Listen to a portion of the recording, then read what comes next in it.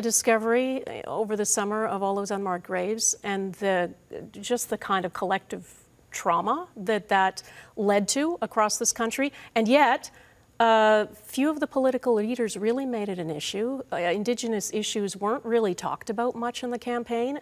I think all of the federal party leaders were invited to um, appear before the BC Assembly of First Nations at their annual general meeting. None of them did. What do you make of that?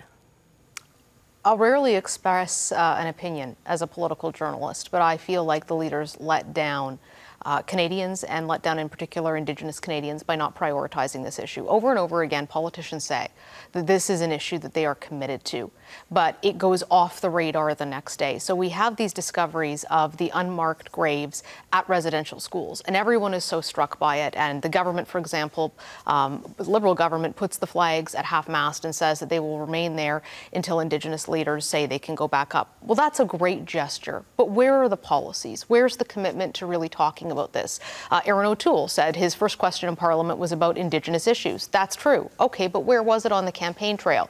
Jagmeet Singh is the one leader who actually visited First Nations reserves and communities, but neither the Liberals nor the Conservatives leaders did. Um, and I think that that is the biggest indicator of how committed they are is do they spend actual valuable time on the election trail going there, hearing the concerns, understanding the problems. Um, and I don't feel like either of the two big major parties did a very very good job of that at all in this election. All right, Mercedes, thanks. Let's go to Farah Nasser in Toronto. Farah, you have a guest with you. Thanks, Donna. When the election was called this summer, Canadians were reeling from forest fires in the West and the discoveries of unmarked graves at former residential schools across the country.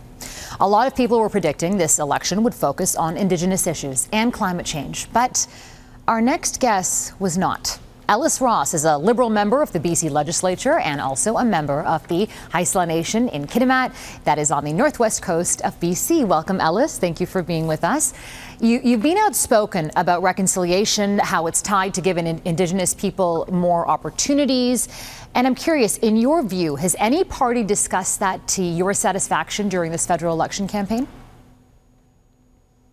No, not necessarily, because this is politics and Aboriginal issues have, have never really uh, actually risen to the top in terms of real change uh, that's really needed in Canada to address Aboriginal issues. When you look, though, at what the conversation has been, I mean, many Canadians, their eyes were opened when we saw, when we heard about these horrific discoveries. If, if it's not brought up now, when will it be brought up? Well, it was brought up, but but it's it's actually faded out again, and the commitments made uh, don't really describe the complicated, costly, long-term uh, plan that we needed to address the, the remains found, uh, let alone reconciliation. And reconciliation has become such a buzzword, has become such a political term. Actually, nobody can really understand what it means in, in the context of what Aboriginals truly need in today's society.